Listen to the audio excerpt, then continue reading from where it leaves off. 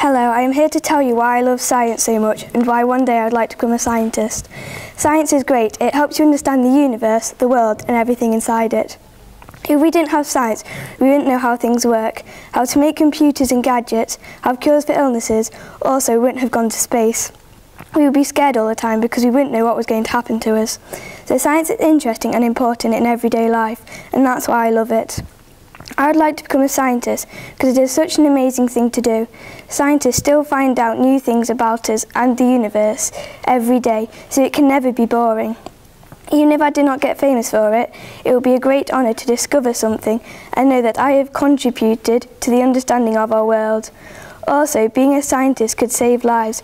For example, whilst we have not yet found a cure for cancer, we are getting there, and soon we will find it. Wouldn't it be great to know that you've saved someone's life? If I was a scientist, my first project would be to find out why bees can fly. If you drew a picture of a bee, you would instantly say that it wouldn't be able to fly because of the ratio of the body to the wings. The body is far too big for the little wings to keep it up flying.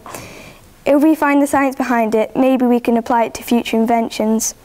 At the start of the year, Michael Foale came to our school and spoke about how he became a spaceman, how it felt to be one, and how science can be life-changing.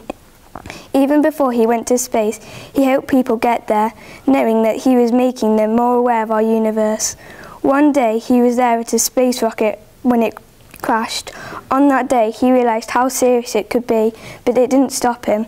I would like to do that because I know it can be dangerous, but it overpowers, you do so much to find out, it overpowers the scary bits. Also, what's life without danger? Thank you for listening.